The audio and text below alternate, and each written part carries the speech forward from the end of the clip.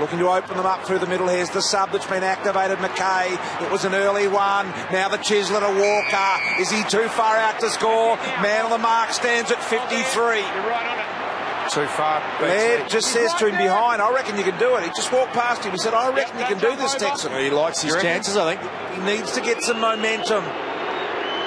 55 metres out. A hoisting big ball. Tex Walker has kicked a big one. That's it, Taylor Hall. So Liam Picken now. He's just going to steer this one to a dangerous spot. Lin Jong looks dangerous there, and he elevated Lin Jong from nowhere. That was a great kick from Picken. Uh, unlikely forward mark. Give and go. Back from Roberts. Dangerfield. Douglas. Now Cameron. Through the middle of the ground. The kick's good. Mark goes. Here's Eddie. He can kick another.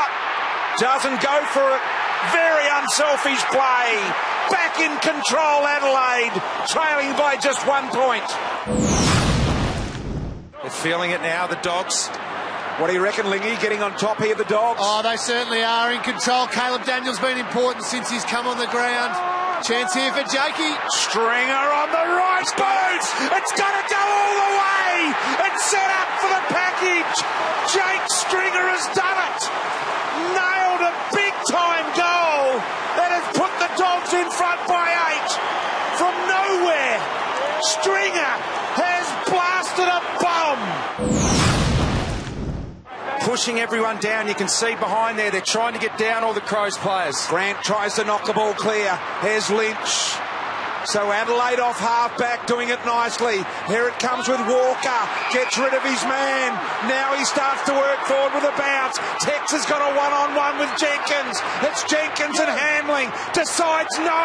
I'll go to Cameron instead. And Cameron has taken the mark. Cameron in the closing minutes. Adelaide lead by seven points. 123 remaining. Five breaks through. Speaking of all time oh, greats, what a goal. Don't miss a moment of the finals. Watch every match live on your mobile or tablet via the AFL Live app.